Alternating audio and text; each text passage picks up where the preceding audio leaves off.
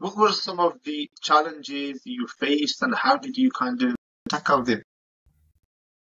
Right. Um. So first of all, my name is Angela Kuma. I Angela Jijo Kuma. I am uh, currently a teaching fellow at Keele University, and I teach in the School of Medicine. I teach public health both to undergrads and um, postgrads. And um, my background is in clinical psychology, so I'm a psychologist by profession.